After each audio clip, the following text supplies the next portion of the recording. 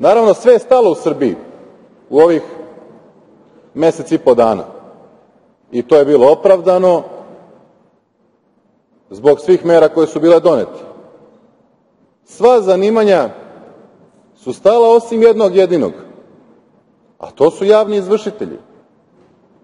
Videli smo mi preporuke Komore i Ministarstva pravde i tako dalje, ali smo videli da izvršitelji, odnosno neki od njih, nisu stali sa izvršenjima i čak su davali izjave kako su to samo preporuke, odnosno smernice, kako izvršitelji nisu dužni te preporuke da poštuju, jer to nigde ne piše, to je konkretno rekao Goran Veselinović, javni izvršitelj, i da njega to ne obavezuje.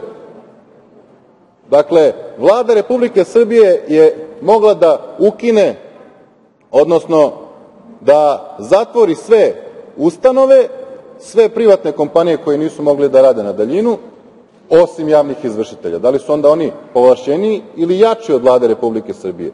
I da li je to još jedan argument više da se konačno raspravlja o njihovom položaju u Srbiji?